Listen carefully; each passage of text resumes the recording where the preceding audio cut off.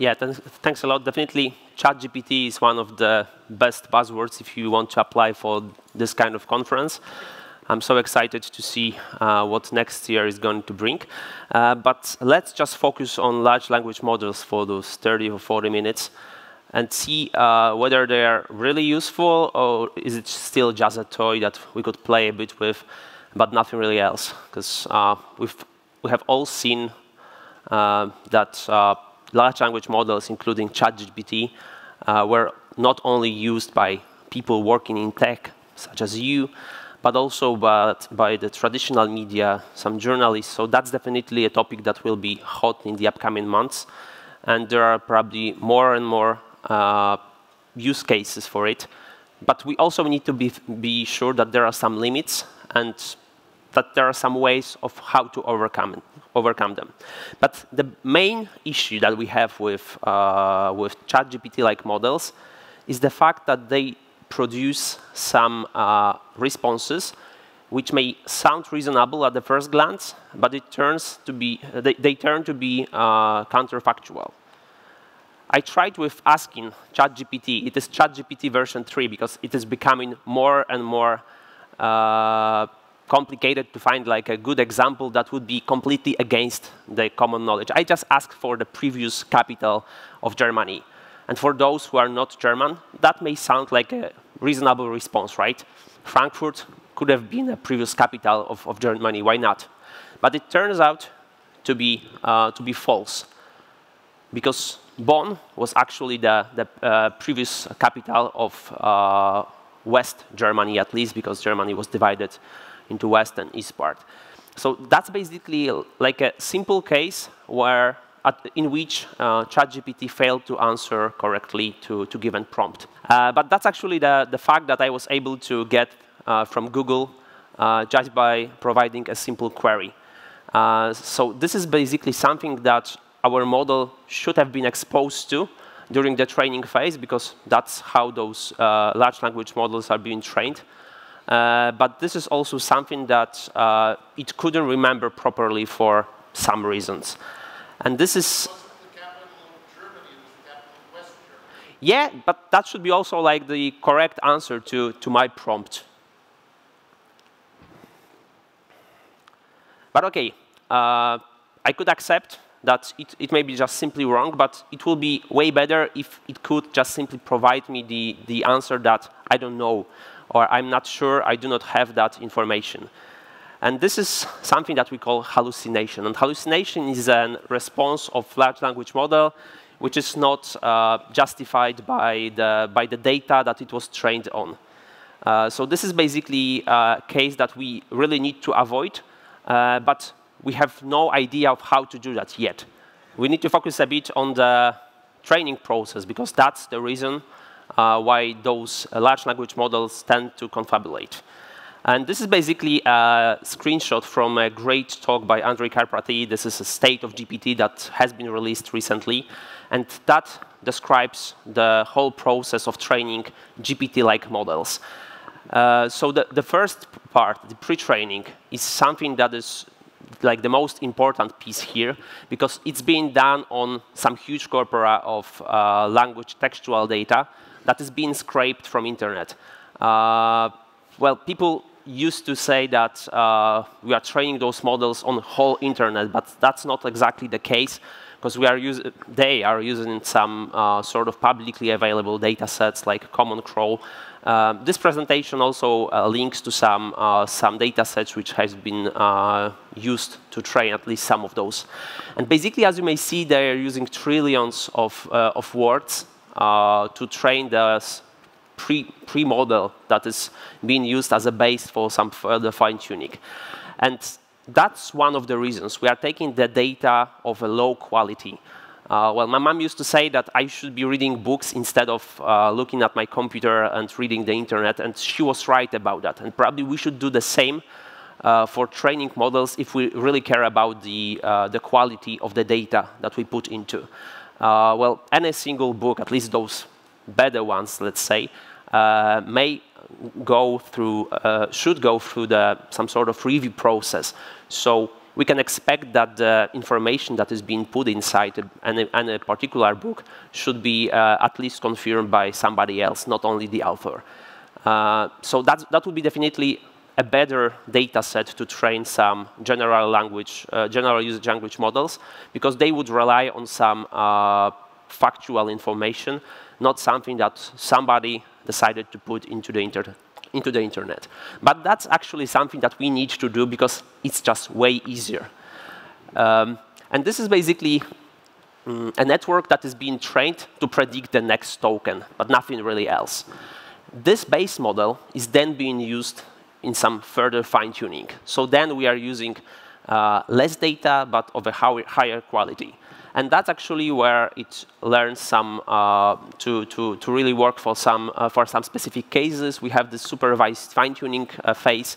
Then our model can be also fine-tuned even further with, uh, with some additional model in that process. Like we can create a reward modeling uh, system that would be ranking the, the responses returned by the system. Actually, this is pretty complicated process, but this, this presentation uh, is uh, available. So if you are interested in more details, uh, please just uh, watch it carefully because that, that shares a lot of, a lot of uh, cool things about the training process of, of this kind of models.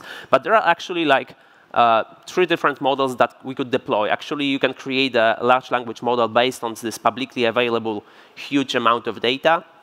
And it will be also working pretty well for some cases. But if you put garbage in, you can expect garbage out. And that's exactly uh, what happens with large language models. Uh, the answers that are provided based on our prompts or queries uh, may sound reasonable, but they are just uh, predicting some next tokens based on the, on the prompt. And the rules or knowledge they, uh, they uh, learned while during the training phase.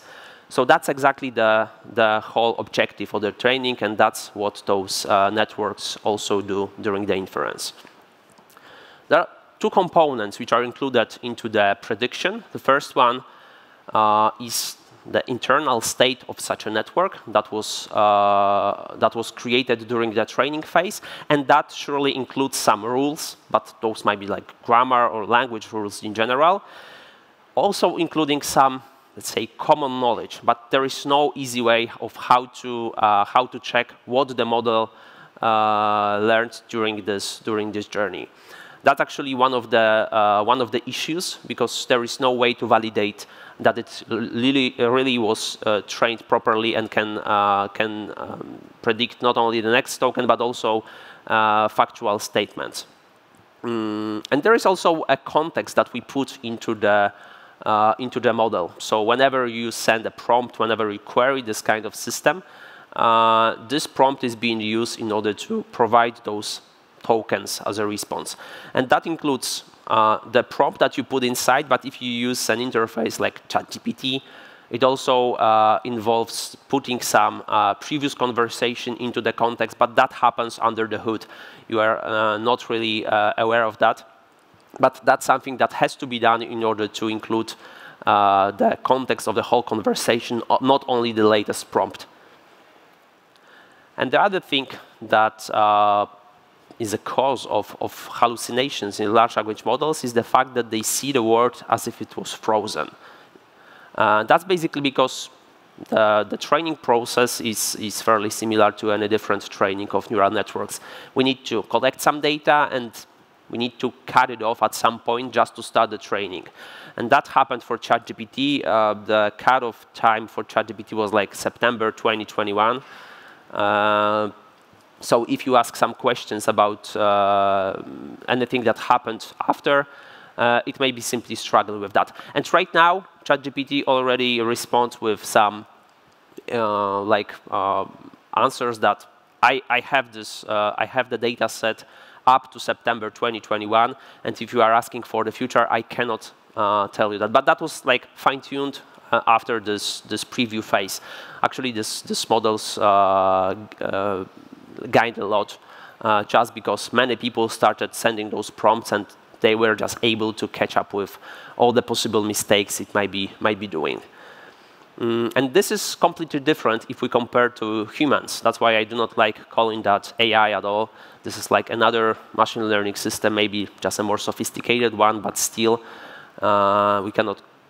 I, I don't want to use the term AI to, to call a system that is uh, trained to predict the next token. That's fairly uh, doesn't seem to be justified by, by, by, by, the fact what I understand as, as intelligence. Uh, so contrary to humans, those large language models do not learn continuously. You might be interacting with them for a while, sending some different prompts into them, and it may seem to remember those facts, but if you just refresh the browser, uh, refresh the page in your browser, uh, you won't be able to retrieve the information that you provided before. And that's, that's in fact because uh, those models are not being trained in real time. That's actually a process that uh, requires lots of computational power. We would need to come back to the slide about the training process, but, but that's basically uh, a matter of uh, days in the best case. And it cannot be done uh, by providing all the prompts because people may be interacting with, with, with those systems in a way that we would never want the, the model to remember. And that's something that we, we cannot expect from, from those models, but I, I just feel that we have some high expectations. Uh, I really recommend reading the article uh, mentioned here. Uh, it's all about uh, our high expectations that we all have for those uh, large language models, but they are actually, that's exactly the same thing. They are trying to predict the next token, so they may be really good at some language tasks, but not necessarily be used as an oracle that we ask any, any question and expect to, to receive a correct answer. Uh, really great article, but there is also one lesson to be learned from that. Uh, we cannot expect that, that, this kind of models to be uh, providing us factual answers, but we can use them in order to solve some language task, because that's in fact something that they were trained for. And those language tasks include rephrasing or summarization, and that's already something that may help us build some, some really cool uh, application based on the large language models. This is one of the, one of the possible solutions to, to avoid hallucination. In order to, in order to avoid them, uh, we can think about extending the context and rephrasing the task that we want this uh, kind of system to solve. So it's no longer a knowledge, uh, knowledge, uh, knowledge task, knowledge-related task, but rather a language task that they should be hopefully able to solve because that's something that already happened during the fine-tuning process. Uh, some better quality data was used to, to solve this kind of this kind of uh, this kind of task. So that's basically what we could expect to be working pretty well.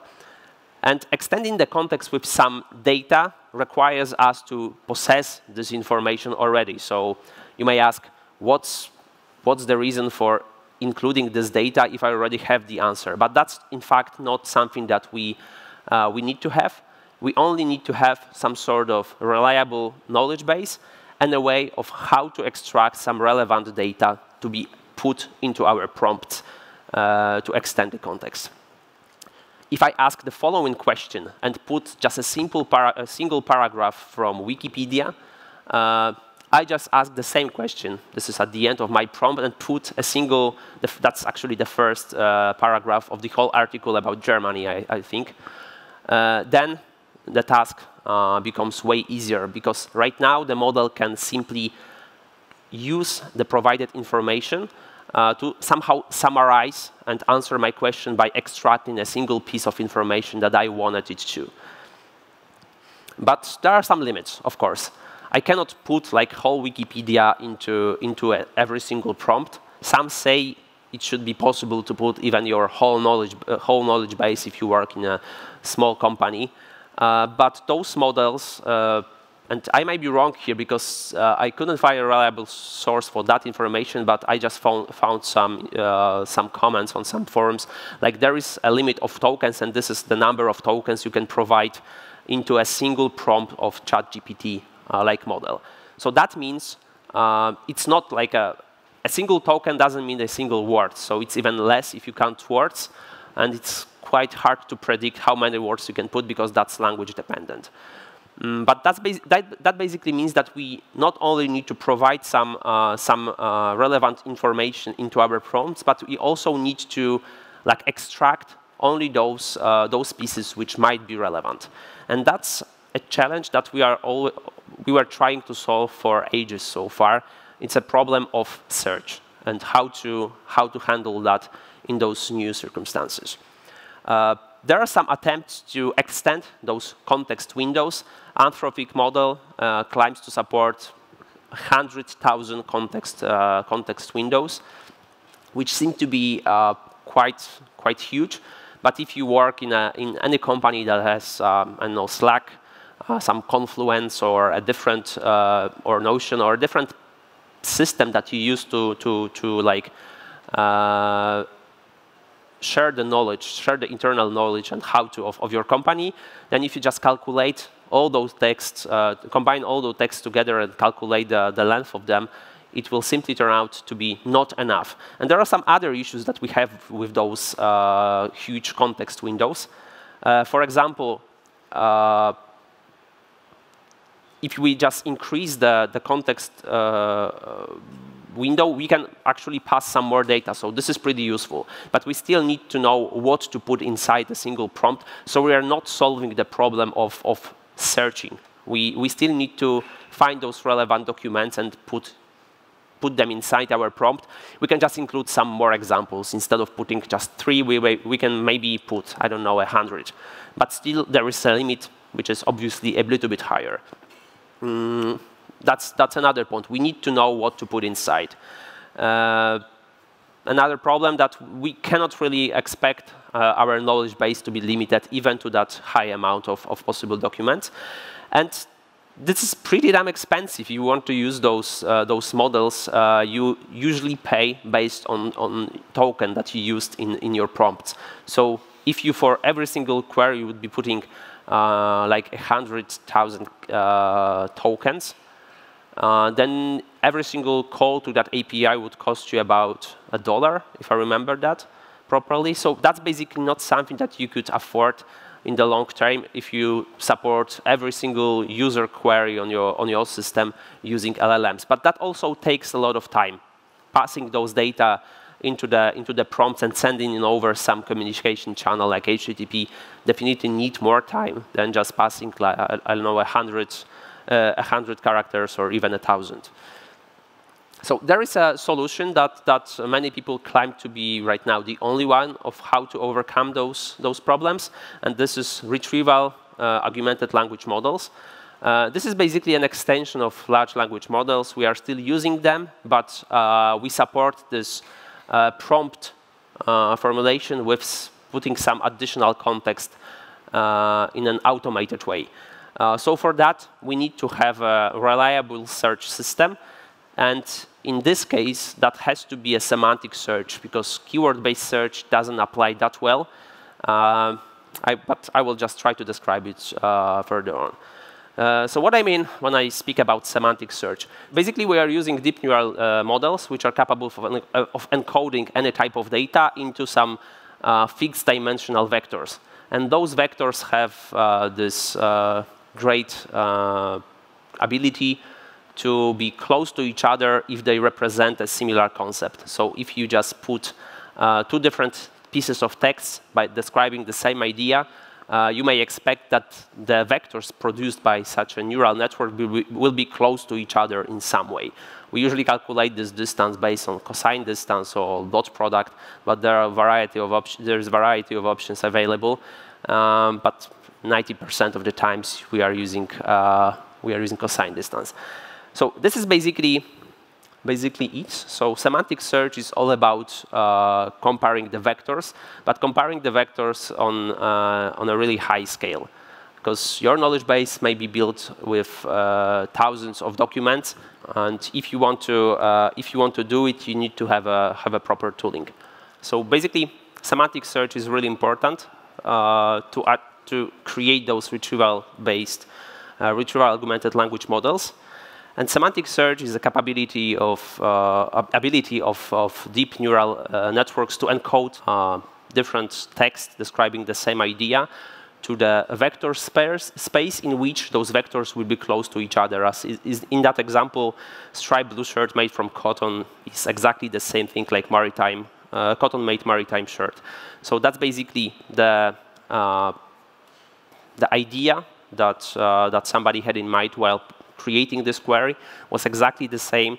Uh, they just described it differently. And we can use that for our advantage uh, because that can already capture some uh, different queries, even though some, some words were not used in our, in our document. So this is basically it. The semantic search in, oppos uh, in opposite to keyword-based search can already handle some synonyms and uh, many languages at the same time. Uh, there are some uh, pre-trained models available, also uh, provided as uh, APIs by OpenAI or Cohere, but there are plenty of plenty of companies offering this kind of uh, this kind of systems. So you don't necessarily need to train your own, own models, but you can always fine-tune the existing ones so they reflect your uh, knowledge in a better way. Mm. And in order to serve vector search in production, you need to use some sort of vector database, and Qdrant is one of, uh, one of the possible solutions. It's uh, written in Rust and mostly focuses on, on the performance. Uh, there are various ways of how to interact with it. Um, you can run it on a single machine for the development purposes, but you can also seamlessly switch to cluster if you want to. And there are also some additional filtering, filters uh, possible to be applied on top of vector search. So let's say you are looking for a piece of cloth uh, similar uh, to the one which is presented on an image. But in addition to that, you also want it to be on a, in, uh, in, a specific color or from a specific fabric. That can be also done and that cannot be easily captured by the vectors. So you need some additional uh, filters to be also applicable. And this is how the interaction with large language models uh, look like without the retrieval augmentation. We, ju we, just send a prompt, and this is directly sent into the large language models. And it's up to you if you want to put some additional context or if you do not have any, any idea of what should be put into it. And you may expect uh, the large language model to be, to be just hallucinating if you do not provide it. But if we just decide to extend the system to include this retrieval phase, uh, we need another two components. So we need an embedding model that will be converting our prompts, our queries into the vector representation. So you are free to choose whatever works for you. There's, there is a huge room for experiments. And you need a knowledge base. And vector database such as Qdrant may play a role of this knowledge base because it may be indexing the vectors for your documents and those vectors might be then used to extract some relevant documents uh, while, whenever a new prompt is being sent. So then, uh, when our user sends a prompt, it is being enriched with some uh, relevant information, which is being sent along with the original query into the large language model. This is actually a pipeline that is being implemented in many different libraries that are uh, becoming more and more popular nowadays. Uh, but you can also do it on your own. That's not that fancy um, and not that complicated to be, to be implemented. So how do we build this knowledge base? This is actually uh, something that requires some, some processes, some offline processes. So you can uh, index all the documents that you have in your organization or, or, the documents that you would like to use. And those might include some private data that by any means couldn't be included into the, into the training phase, even this, this first round. Uh, we divide some longer documents into chunks, and those chunks are being vectorized by our, our embedding models, and those vectors are eventually being indexed in the knowledge base along with the text that uh, were used to, to produce the vectors. So then, whenever we receive a prompt, uh, we can ask for some relevant candidate documents and include them into the prompt. And we typically set a limit that we want k uh, closest documents, k uh, most relevant documents which are available uh, for our prompt. But it doesn't seem to be solving all the issues that we have with, uh, with hallucinations and uh, large language models. Um, there is still something else that we need to do, and th this is all about prompt engineering. I really like the term. Uh, we are right now trying to find the people who are capable of talking to our oracles that we created before. That, that's exactly what, uh, what may happen if you just ask a re really simple question uh, to ChatGPT. I asked for some countries which names start with R. And this is a response. I expected five countries. And uh, the thing to know, there are only three countries uh, on the whole world which names start with uh, letter R. But because I asked for five, uh, model uh, wanted to just, just make me happy uh, because it was trained to reward uh, proper answers. And that was like the task. I wanted five answers, so it provided five. And that, that's an issue because uh, I may be just thinking that this is a correct answer if I just include it in my pipelines. If I would be directly using those, uh, those responses uh, for some further processing, I would just uh, be relying on some fake information. Um, however, if I just allow the model to uh, just provide me some, some uh, um, like a shorter list if there are not enough, uh, not enough uh, data, not, not enough information, it changes its mind and tries to, to replace those uh, obviously long, uh, long entries like Qatar in the previous slide with some republics, which is right to some extent, but still there are plenty of republics around the world, and that's not exactly something I wanted it to produce. Um, so I also need to exclude those republics. I need to know how the model behaves in some specific cases, and I just need to make sure that it won't be making that mistake. And finally, if I formulate my prompt in that way, uh, it is able to produce me a list of results which are not only uh, fulfilling my criteria, like I wanted five, but they are also uh, true. And that's something that we still need to, uh, still need to learn, how to uh, provide the prompts in order to, to be able to retrieve only uh, factual information from our models. So prompt engineering is is hard, I have to say. I was trying to, to figure out some different ways, and uh, there are some cases in which you, you, you would be expecting the model to answer properly to your, to your queries, but it's not the case. We still need to experiment a little bit, and if you just change your large language model, let's say you were dealing with LLMs uh, for a while, you were experimenting with ChatGPT, and then you switch to, I don't know, Llama, then it turns out that you need to learn that from, from the very beginning because the, the prompts have to be formulated differently. That happens if you just experiment with different, different models. But first of all, we need to allow our models to no, not provide the answer if they do not uh, know it. And that's exactly what we need to put into the prompt, because they were rewarded to provide the answer. So there is no reason why they would uh, be uh, answering uh, that they don't know it. And that's the, something that we need to include. But you also need to um, be sure that, that the reasoning scheme of our models is, is, uh, is uh, correct. So that's something that, that's a strategy that is quite common nowadays, asking for a reasoning scheme. And that if you include this kind of, this kind of request into your prompt, you would be able to track step by step how the, how the model was, was uh, retrieving that, that, that information, at least you might expect it to, to, be, to be returning that information because it might be still hallucinating on the reasoning scheme. So, but that's not something that we can, we can avoid in, in all the cases. Uh, but the most important, uh, important thing is to turn the knowledge, uh, knowledge-based task, knowledge-oriented uh, prompt into a language task. So summarization or rephrasing of the, of the documents seem to be a way of how to overcome those problems. And uh, it's also great to, to expect the model, to include that in, in our prompts, uh, to expect the model to return the sources if you just provide n documents into the into the context, then you may simply uh, simply expect it to to return I don't know some sort of identifiers or, or a number of the document that it used to produce the answer. But there are still lots of challenges. How to keep our knowledge base up to date, because uh, this is not fixed and, and uh, many events happen uh, every single day. So we need to make sure that we have a process that can back up the knowledge base and, and uh, provide the relevant information as, as soon as it uh, has to be provided. Mm, we also need to uh, have some other, other constraints being applied, applied on top of vector search.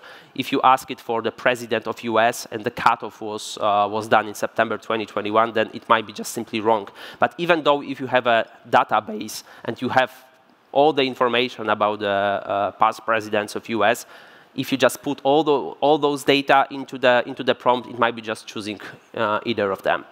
Uh, so we need to have some additional constraints apply on top, and that strongly depends on the use case. Uh, one thing to note, quality assurance with, with uh, LLMs is not that easy. Um, there is like another process that people try to solve with another model being included in that whole pipeline. Uh, so uh, a different model is just uh, verifying the, the answers of, of the large language models. Uh, but still, we do not have any, any, uh, any way of how to do that properly. That's really tough.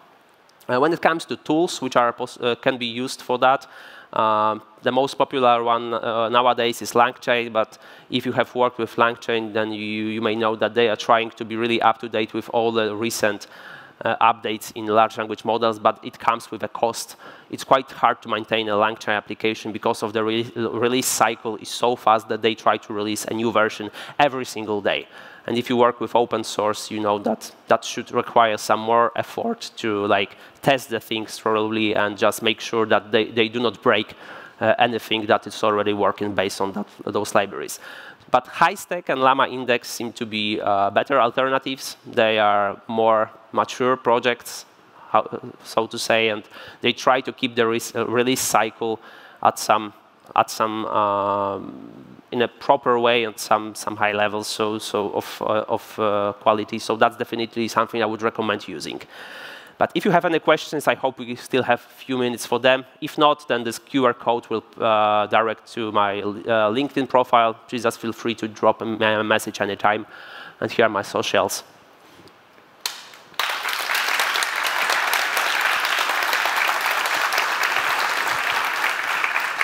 So thanks so much for your presentation. It was a bit daunting to get here, but uh, you did very, very well. So I think there would be some questions.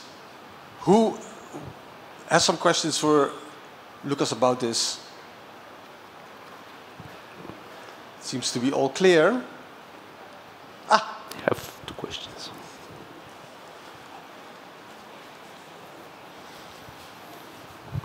Um, thanks for the presentation and for overcoming the challenges. Um, so my question is around, uh, have you ever tried or heard of this uh, option of doing the retrieval afterwards? So basically, I'm asking a rather vague question. I get a response back that, you know, hopefully has some truth in it, and then just search for those truths and verify if they actually are in our retrieval system. Well, I haven't tried it yet. Uh, that sounds like something that, that might be possibly one of the ways of how to like uh, make sure that the quality of the responses is, is, is cool. Uh, I'm not really sure. I haven't, I haven't used that so far, but that's a cool idea. I would definitely try it out. Okay, because I just want to follow up a little bit. Because um, my problem is that probably my questions would be too vague to actually search in the database in the first place. So I wanted to be expanded first before I search. Yeah, that may work. I would definitely love to hear more about the, the use case you are trying to solve, because if the queries are that limited, then, then uh -huh. that, that might be great to, to, just understand. Maybe you just need a different retrieval process under the hood as well. If, if the questions are, I don't know, uh, the semantic search uh, works great with retrieval uh, augmentation language models just because those, those queries which are uh, being used are more on the long tail side. So, so they are pretty long. Uh, they may include some keywords, but they come from the natural language. So, so the semantic search works way better than, than keyword-based search. But maybe we can think about having some hybrid or even a keyword-based search if that works in a specific case. It really depends on the use case, but I would love to, to hear more about what you are trying to solve. Cool, thank you very much.